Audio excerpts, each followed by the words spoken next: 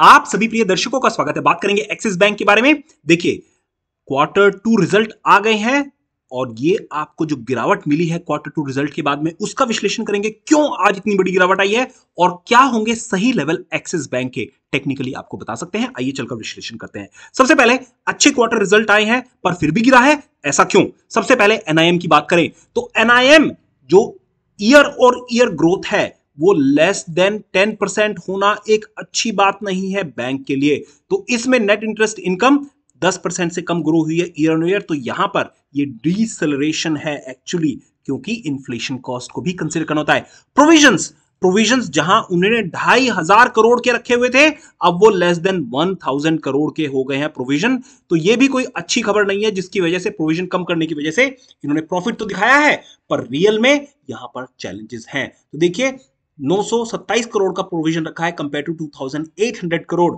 और ये अभी अच्छी बात नहीं है। वॉट टू डू नाउ अभी वेट एंड वॉच रहेगा हमारे हिसाब से। रिकमेंडेशन है राइट सपोर्ट लेवल पर आप खरीदिएगा।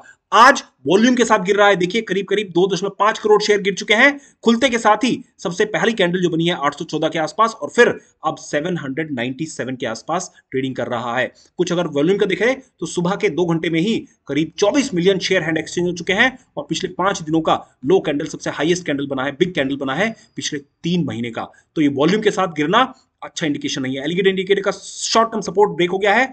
अगर आप बुलिंजर बैंड को फॉलो करते हैं तो 755 से पहले तो इसको खरीदने की आपको ज़रूरत नहीं है। 755 से लेकर 730 का जो है सपोर्ट है, एक पहला ट्रेंच यहाँ पर आप खरीद सकते हैं। बैंडविड्थ अभी कम है तो हो सकता है और गिरावट तेज़ी से आए। मैगडी काफ़ी तेज शार्प फॉल दिखाया है तो हो सकता है यहाँ पर मैकडी भी इसको नीचे की तरफ़ को सेल सिग्नल दिखा दे।